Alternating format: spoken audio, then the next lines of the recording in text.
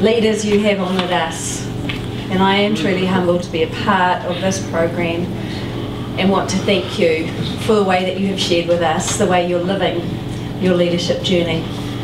I want to thank the mentors in advance because this is going to be a rich and reciprocal relationship that I hope uh, forms a partnership.